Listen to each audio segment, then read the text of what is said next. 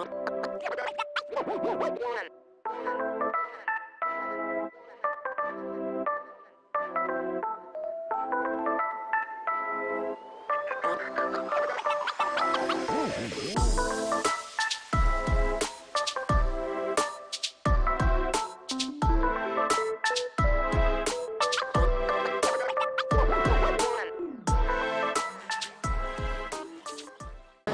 Je m'appelle Samba je suis professeur euh, dans cette université, plus précisément à la faculté de droit.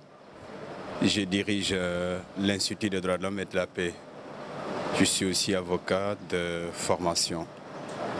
Nous avons collaboré dans le cadre d'un partenariat avec ces jeunes, ces jeunes leaders, pour pouvoir organiser ce panel je pense que c'est incontestable partout dans le monde.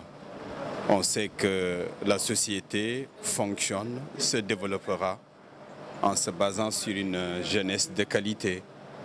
Et la jeunesse doit être préparée. Euh, c'est la raison pour laquelle tout à l'heure, dans mon intervention, je disais que pour évoluer, il nous faut partir de trois moyens et que ces moyens doivent être cumulés. C'est la paix, et justement, c'est cette jeunesse qui doit nous garantir la paix. C'est la croissance. Sans la force de la jeunesse, euh, nous ne pouvons pas atteindre un niveau de développement considérable. Et troisième moyen, c'est la justice. Euh, la justice, elle est là pour euh, éviter qu'il y ait des conflits. Pour rendre paisible notre société, il nous faut une justice de qualité. Et qui dit justice dit des valeurs, dit éthique. Et ça, ça se prépare avec la jeunesse. Euh, on doit dire tout de suite que les universités ne sont pas suffisamment prêtes à accueillir tous les bacheliers. Euh, si on peut orienter tout le monde, pourquoi pas? On donnera la chance à tout le monde de pouvoir suivre des études supérieures. Euh, il faut mettre en avant les moyens. Les moyens, vous le savez, c'est en termes de structure, les universités, euh, aussi bien par rapport au côté matériel, les, œuvres universitaires, qu'au niveau, des, niveau des universités, je vous dis des facultés avec les salles, mais également et surtout le personnel, les ressources humaines. Hein, s'ils sont nombreux, s'ils sont plus de 2000 dans un amphithéâtre, ben, il va falloir recruter des enseignants. Euh, euh, L'État doit mettre en avant les moyens. Mais moi, je pense que nous devons nous dire la vérité. Tout le monde ne devrait pas prendre le même chemin. Euh, la vie est ainsi faite. Euh, jusqu'en classe de CM2, il y aura forcément des personnes qui vont passer par un autre chemin. BFM, baccalauréat, tout le monde ne peut pas employer la même voie. Il faut qu'on prépare les portes de sortie. Il faut que certains, avec un certain niveau, avec un certain diplôme, puissent faire autre chose. Nous n'avons pas les mêmes facultés intellectuelles, il faut dire la vérité aux gens. Tout le monde ne peut pas venir à l'université. C'est un lieu d'élite. Euh, moi, je pense qu'il n'y a pas de gel à montrer, à expliquer cela. Mais vous me direz également qu'on ne doit pas laisser les autres en rade, je suis d'accord. Euh, vous voyez, c'est une question donc de politique générale.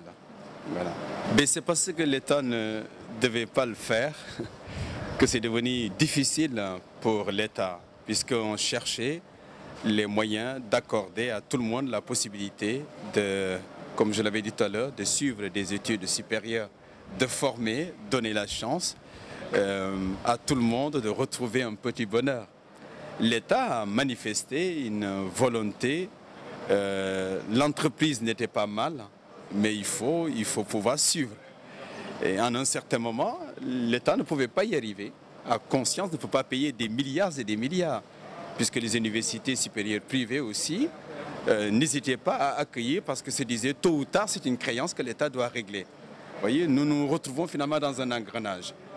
il ne faut pas, je crois que le propre d'un État, c'est de savoir prévenir.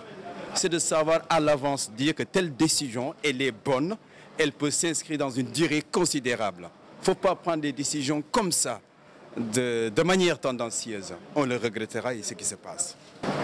L'idée d'une université virtuelle est une bonne idée hein, parce que les gens ignorent, méconnaissent, mais ce n'est pas mal. Euh, le fait de se former de cette manière, avec des outils, ce sont des personnels de, de l'université. Nous avons les mêmes grades, nous avons les mêmes euh, statuts. Euh, et, puis ce sont des gens de qualité qui sont là-bas. Le programme est, le même que dans les autres universités. Donc c'est une excellente université. Mais nous revenons encore à la carence, c'est-à-dire les moyens. Mettre les moyens nécessaires pour que les étudiants soient traités dans de bonnes conditions, pour qu'il y ait un personnel de, qualité. Mais ce n'est pas mal l'université virtuelle. Euh, moi, je poser une question très difficile euh, et, à la fois aussi contradictoire, puisque dans notre constitution, il est mentionné qu'on doit euh, traiter les gens de manière égale, qu'il n'y ait pas de discrimination par rapport au sexe, par rapport à la religion. Mais aussi, l'établissement a reçu l'agrément de s'installer chez nous à un règlement intérieur euh, vous n'êtes pas obligé d'amener vos enfants dans cet euh, établissement, Jeanne d'Arc. Alors, si vous venez, il y a un règlement. Euh, je crois, je peux dire des bêtises, hein, dès le début, on vous donne un règlement que vous devez signer que vous, et que l'établissement récupère. Et après, vous ne pouvez pas dire que je ne me soumets pas au règlement. Autre chose qui me gêne, et c'est pour ça que j'ai aimé l'idée de médiation, quand j'ai vu ça à travers la presse, que le ministre de l'Éducation nationale euh, envisage une médiation, ce qui est une bonne chose. Qui dit médiation dit qu'il y a deux impératifs. Du côté de l'établissement, ils n'ont pas suffisamment tort, mais aussi de notre côté, la société l'éducation, l'État, euh, c'est extrêmement difficile pour nous de vivre un tel phénomène.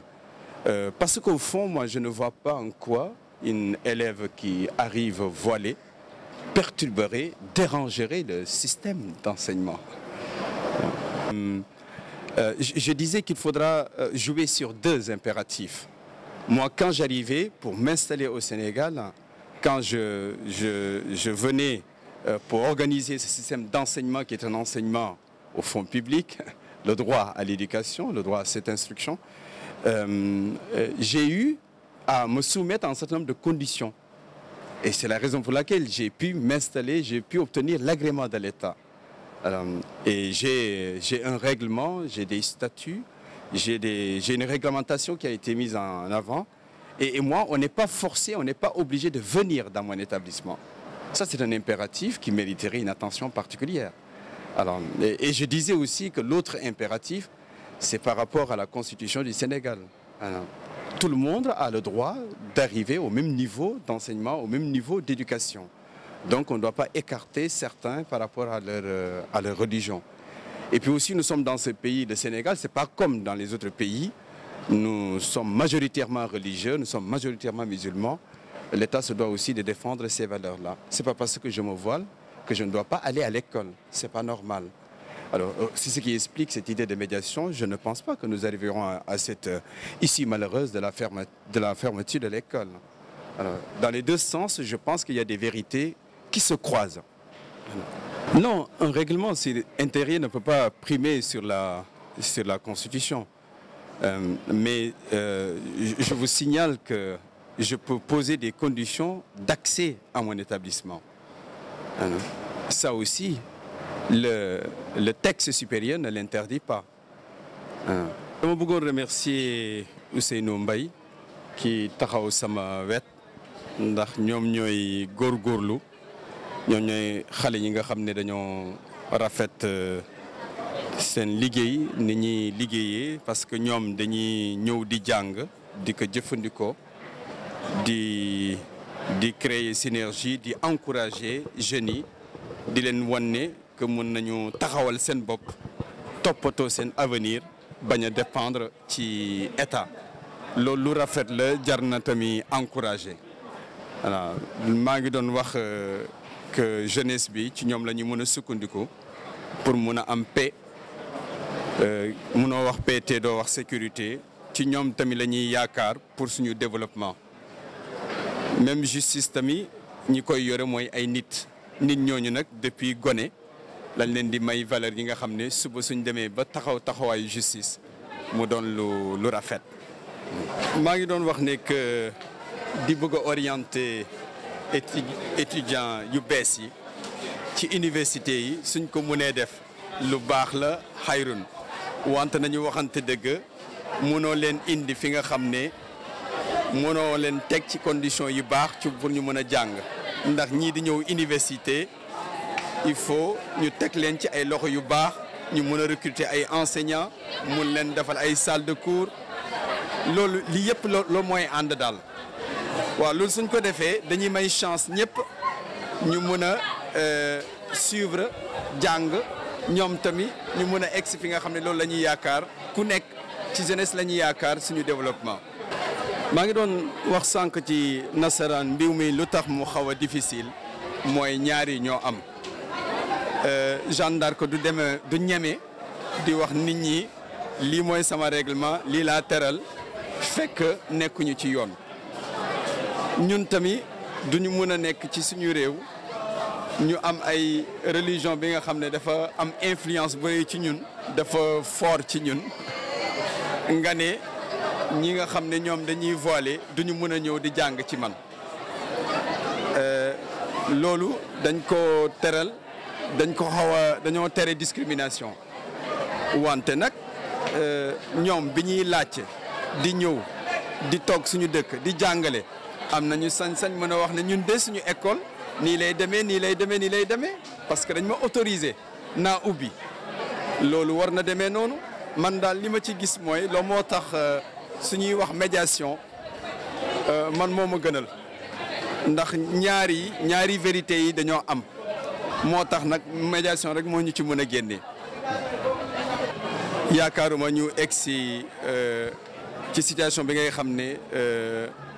dañuy dem ba di décider di fermer école bi. Parce que lu tax école bi di am sañ-sañ di taxawee noonu am na li ko waral. Te lii du léegi yàgg na. Xëy na léegi rek la gën a feeñ nit ñi di ci wax. Mais da nga doon li nga xam ne yàgg na trop.